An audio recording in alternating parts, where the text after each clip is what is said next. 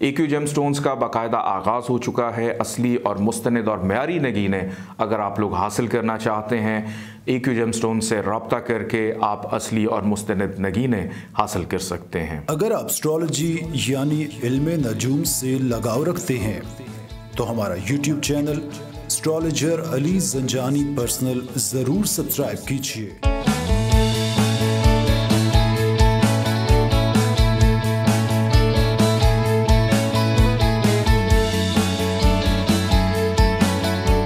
بسم اللہ الرحمن الرحیم اللہم صلی اللہ محمد و علیہ محمد السلام علیکم اسٹرالوجر علی زنجانی پرسنل سے تمام بروج اور آج کا دن لے کر آپ کی خدمت میں حاضر ہوں۔ ناظرین زنجانی، جنتری دو ہزار اکیس، بارہ امامیہ، جنتری دو ہزار اکیس، البرونی تقویم دو ہزار اکیس اور رواں ماہ کا شمارہ ماہنامہ آئینہ قسمت مارکیٹ میں اویلیبل ہے۔ آپ اس کو خرید کر پڑھنا چاہیں، نمبر آپ سکرین پر دیکھ رہے ہیں، اس نمبر پہ کال کر کے آپ اس کی ہارڈ کاپی آرڈر کر سکتے ہیں۔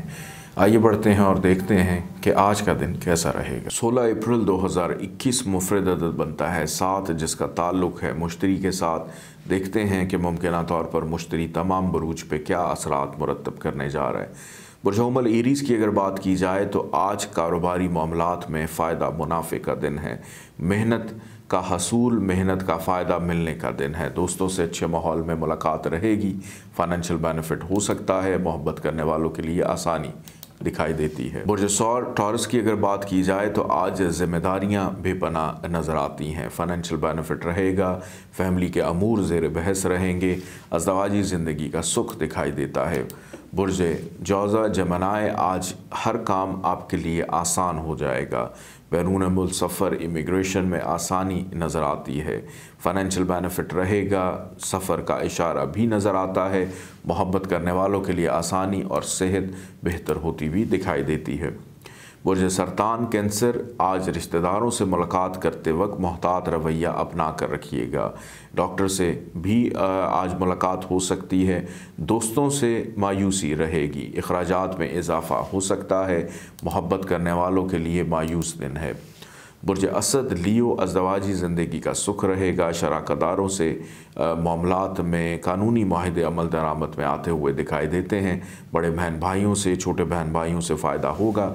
آج آپ کی شخصیت میں بھی نکھار رہے گا۔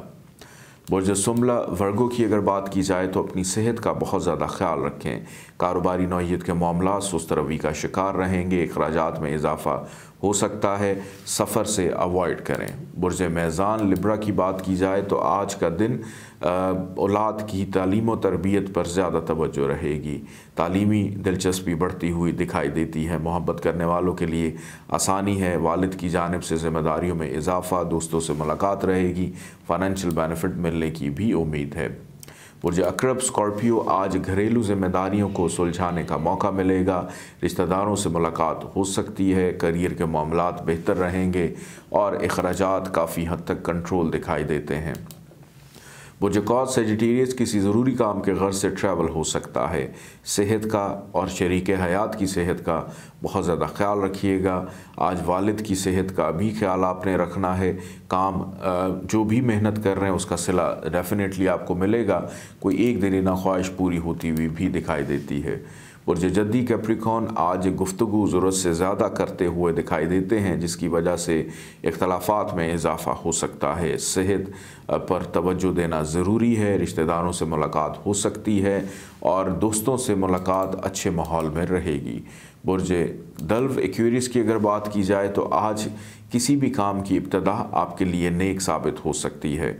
محبت کرنے والوں کے لیے آسانی ازدواجی زندگی کا سکھ رہے گا۔ کامیابی آج آپ کا مقدر ہے۔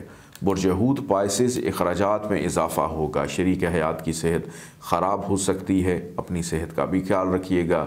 گھر کا ماحول کشیدہ دکھائی دیتا ہے اور آپ کے رشتہ دار آپ کے لیے پریشانی کا باعث بن سکتے ہیں۔ اجازت دیجیے۔ اللہ حافظ۔